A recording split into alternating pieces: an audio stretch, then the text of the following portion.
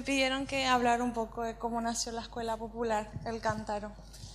Creo que para hablar de eso debo ir un poco a mi, a mi de dónde vengo, de dónde soy y qué, qué me motivó para empezar con eso.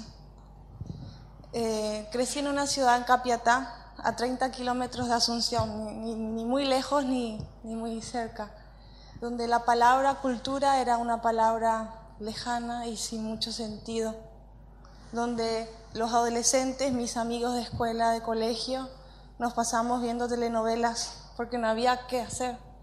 Éramos una generación de jóvenes que la palabra cultura era ver cómo bailaban en festivales, algunas veces en los colegios, pero no teníamos acceso a una hora de teatro, no teníamos acceso a, a tocar un instrumento, a saber lo que era estudiar un idioma. Así llegué a los 20 años y me di cuenta que pasé toda mi adolescencia mirando la tele. No teníamos otra visión los, jóvenes como yo. Y toda una, generación de jóvenes hizo lo mismo. Cuando tuve 21 años tuve la oportunidad de estar en el lugar indicado, en el momento justo, y conseguí que alguien me ayudara a ir a Francia a estudiar. Logré ir a Francia y fue algo así increíble para mí porque venía de una familia humilde, venía de trabajar en casas de familia, donde no, no, pensaba que llegaría a eso. Tuve el privilegio de ir a estudiar allá, tuve el privilegio de recibirme y volver con una licenciatura en mediación cultural. Cuando volví dije, quiero hacer algo, quiero hacer algo con un público de jóvenes, que era el mismo público que yo fui. Así que dije, quiero usar la cultura como herramienta de, transformación social, de herramienta de conexión y de herramienta para pensar. Porque yo hasta los 20 años no pensaba, tenía muy poca abertura, no, tenía varios límites eh, intelectuales mismo para escribir y eh, yo veía que esa realidad era la misma en, mis amigos.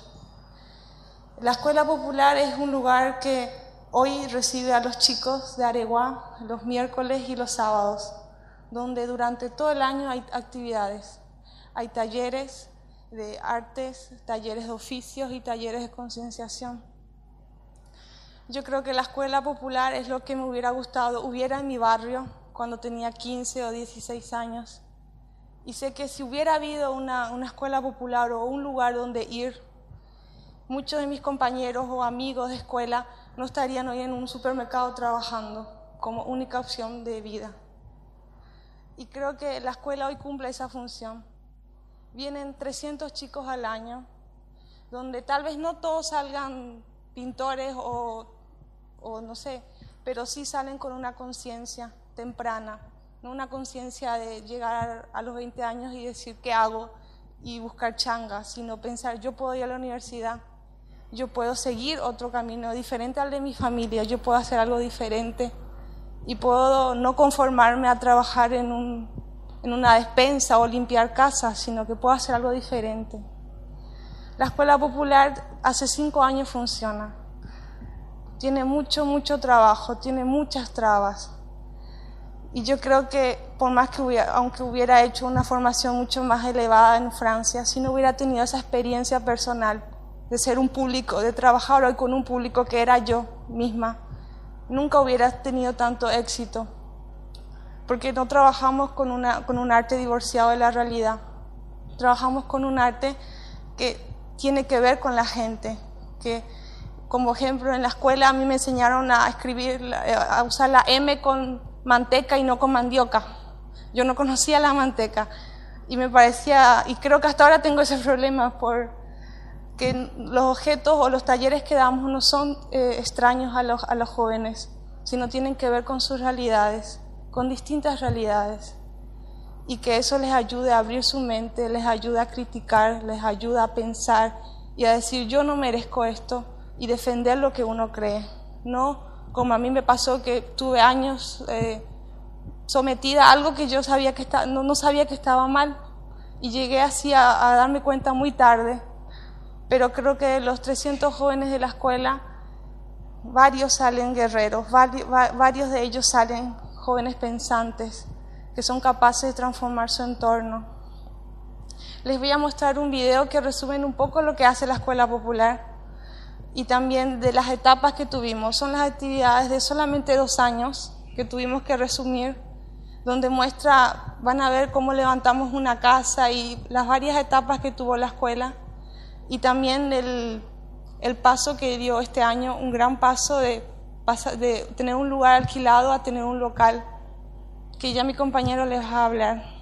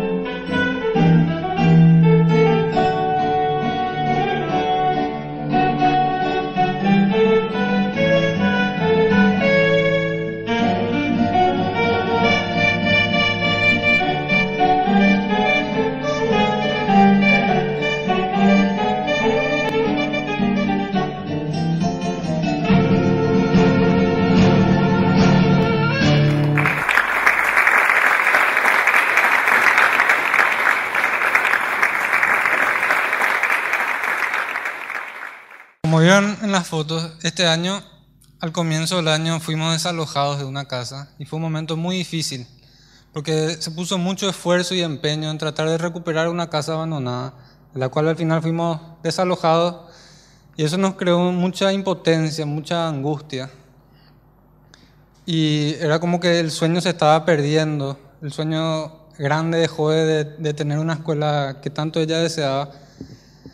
Pero después ella un día me preguntó, ¿y si compramos un terreno? ¿Por qué no construimos de esa forma que vos me dijiste? Y eso era justo lo que necesitábamos, era una forma de transformar eh, esa realidad que, se nos venía abajo y agrandar nuestro sueño. Y de esa manera fuimos eh, buscando algún lugar y, y, conseguimos un terreno en el centro mismo de Areguá, a una cuadra de la estación del ferrocarril. Y este lugar que, que ven así, que era una chatarrería, nosotros pudimos eh, tener la visión de transformar este espacio y crear una, eh, un lugar que nos permitiría eh, continuar con los talleres. En este momento, como vieron, estamos trabajando en las plazas de Areguá.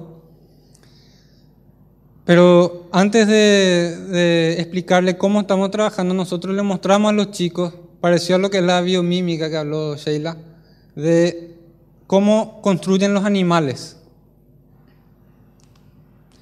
Los animales, eh, todos eh, construyen con, con los materiales que están a su disposición, los que están cerca, sin un gran impacto ambiental eh, y teniendo en cuenta mucho lo que es el entorno del espacio y en la mayoría de las veces también hacen trabajo en, en comunidad como las abejas o las termitas, las hormigas y hacen espacio el tamaño necesario para ellos sin construir más ni menos. Pero hay un animal que fue nuestro primer profesor, que era el hornero y los chicos entendieron enseguida el mensaje. El hornero, o más conocido como el alfoncito también, construye su casa en pareja. Y ellos buscan el barro de, del suelo, juntan pasto o paja y van así construyendo sin manos, con sus picos nada más. Y a los chicos les encantó ver estas imágenes y, y les propusimos de construir nuestra propia escuela de esa manera. Pero antes de eh, hacer la escuela, dijimos, bueno, vamos a probar primero con un tatacuá. ¿Por qué el tatacuá? Porque era una técnica también que se estaba perdiendo. Algunos de nosotros ya no sabíamos cómo era de hacer ese domo que, que parece tan difícil. Y también eh, era una excusa para poder tocar nuevamente el barro, a pesar de que la mayoría de los chicos en Areguá son o hijos de alfarero o tienen algún tipo de pariente que trabaja con el barro. Era también una cosa que nosotros supimos que la comida y el fuego son elementos que unen. Y aprovechamos para hacer deliciosa comida y organizamos un caruguazú. Y que en ese espacio eh, del terreno empezamos a compartir nuestras ideas del futuro de la escuela, que era la construcción misma de ella, y ver qué, qué, qué conocimientos había dentro de la misma comunidad, porque muchos de ellos nos dijeron, sí, mi abuela había construido ya así pero como que se dejó de, de construir de esa manera. Y el horno, eh, si es que se caía, también íbamos a repensar todo. Pero el horno funcionó muy bien, es más, eh, funcionó demasiado bien.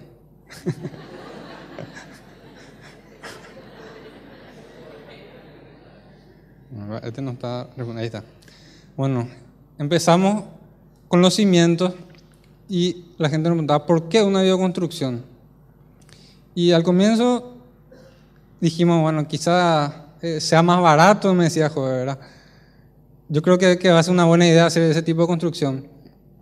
Y tuvimos un, una ayuda de alguna gente que nos ayudó en la parte más, más pesada del trabajo.